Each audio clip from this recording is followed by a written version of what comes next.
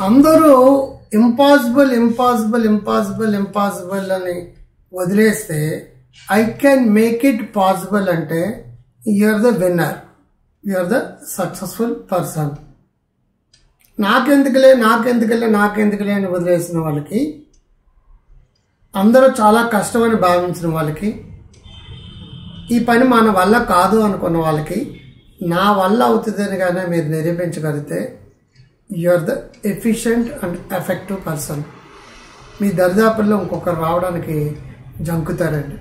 అంచేత అందరితో పాటు నువ్వు వెళ్ళడం అంటే ఒక గొర్రో గాడిదో ఆ, కొండెక్కితే కొండ గోతులు పడితే గోతులో వెళ్ళేటట్టయితే నలుగురిలో నారాయణ గుంపులో గోవింద వలకాట్లో వంకాయ గాడు లాంటిది అనమాట అది జీవితం అంటే.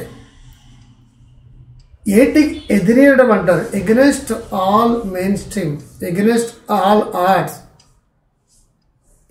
ఇలాగ మనకి ప్రభావం వస్తుంది. ప్రభావానికి ఎదురెళ్ళగలిగితే దట్ ఈస్ ద వారియర్షిప్ అది శక్తి అది సమర్థత అది రియల్ ఎబిలిటీ uh, మీ ఎబిలిటీ అంటే అది. ప్రవాహంతో పాటు నువ్వు వెళ్తావు అంటే నలుగురితో నారాయణ గుంపులో ఉందా వలకట్లో వంకాయ కట్టని అర్థం అందరం చేసే పని నువ్వే చేస్తున్నావు. అందరూ సాఫ్ట్వేర్కి వెళ్తున్నావు నువ్వు సాఫ్ట్వేర్కి వెళ్తున్నావు. అందరూ ఆ, చేపల చేపల చెరువులు పెట్టావు నువ్వు చేపల చెరువులు పెట్టావు.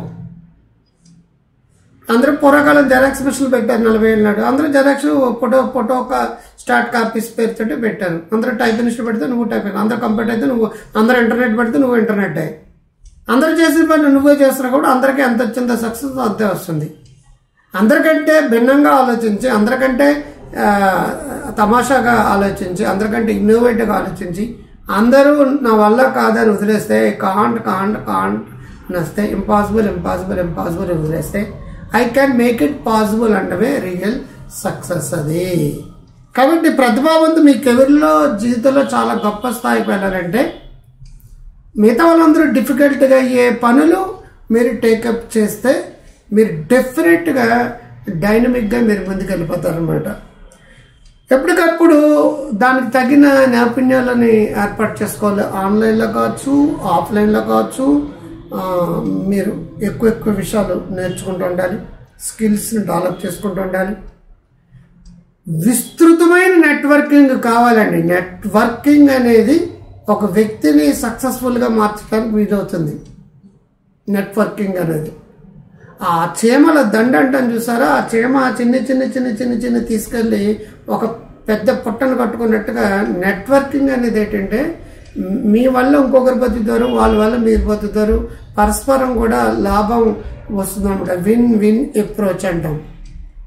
మీకు ఎన్ని విషయాలు తెలియాలనుకుంటున్నారో అన్ని విషయాలు డైరెక్ట్గా కావచ్చు కొత్త విషయాలు ఆర్ ఆన్లైన్లో కావచ్చు మరో విషయంలో కావచ్చు మీ స్కిల్స్ని అప్గ్రేడ్ చేసుకుంటే మీరు అత్యంత స్పెషలిస్ట్ అవుతాడనమాట మీరు ఒక నాలెడ్జ్లో జనరల్ నాలెడ్జ్ కంటే స్పెషలైజ్డ్ నాలెడ్జ్ ఉండడం అనేది చాలా అవసరం.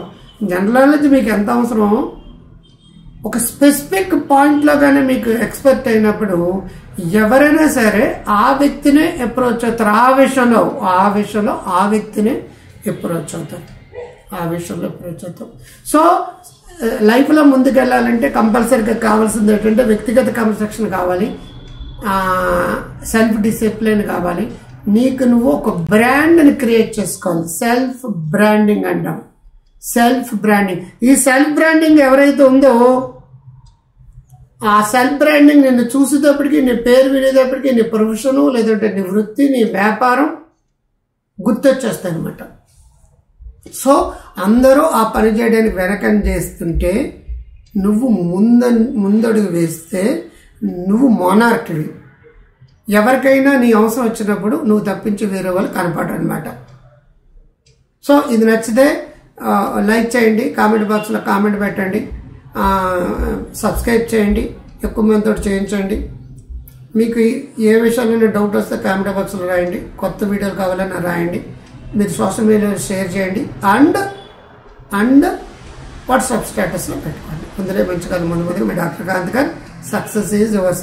I can I'm the best అని పొద్దున్న మధ్యాహ్నం సాయంకాలం ఆరు సార్లు అనుకోండి. నమస్తే.